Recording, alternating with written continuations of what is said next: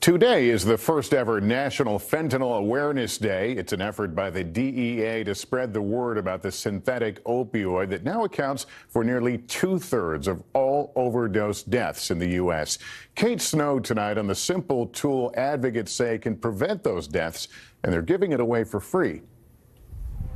On a recent Friday in LA, students from USC were handing out free kits used to test drugs for the presence of deadly fentanyl.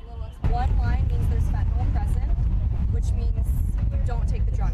Their harm reduction group is called TACO, Team Awareness Combating Overdose. Madeline Hilliard founded TACO in 2020, following a year when a dozen USC students died of an overdose. She and co founder Jack Elliott were neuroscience majors and saw a need to educate. Our goal is to remove any and all barriers so that you have absolutely no reason not to be testing your drugs.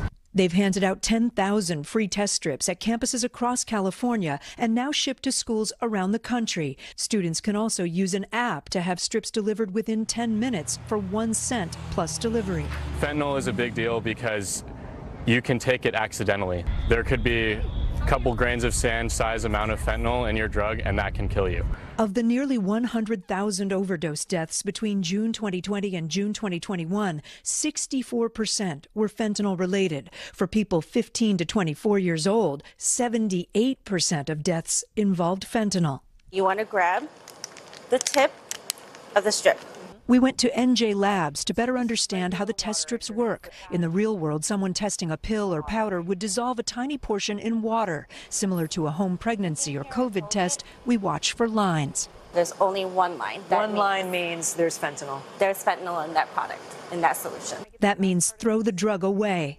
Do you think these tests are fairly accurate? They're fairly accurate and sensitive enough to test very trace low levels of fentanyl. Some states consider the test strips drug paraphernalia and make distributing them illegal. Critics worry they encourage people to use drugs. They were going to use drugs whether we gave them the test strips or not. The difference is now with the test strips, if they find fentanyl in it, that means that they are going to wake up tomorrow. If I'm going to use drugs, I'm going to This 21 year old college student requested anonymity to speak openly. At a party, she and her best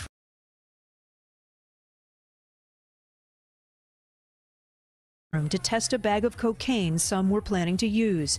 When the strip showed positive, they sat in stunned silence. If you hadn't known some of your friends were, were about to do it, what do you think might have happened? One of them could have at least died, if not all of them. So it was super jarring to think that like they could have died. And these are people that I like spend every day with. It would have changed like everything about how I live right now and I imagine going forward. Taco's goal is to create positive peer pressure. If you're going to use a drug, test it first, Give them to friends, family, whoever. hoping that small step saves lives. Kate Snow, NBC News, New Brunswick, New Jersey.